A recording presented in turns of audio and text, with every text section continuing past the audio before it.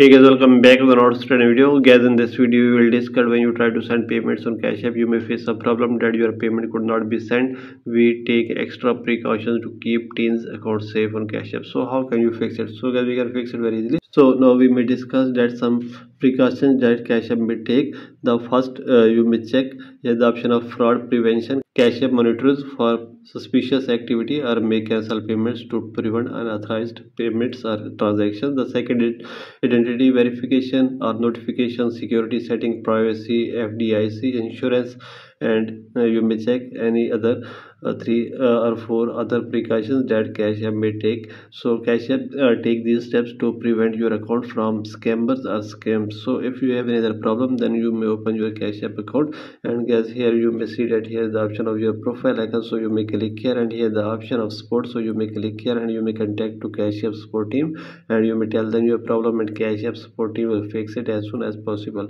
So by all these method you can fix it very easily. So this is the video guys. For more videos, please subscribe our channel.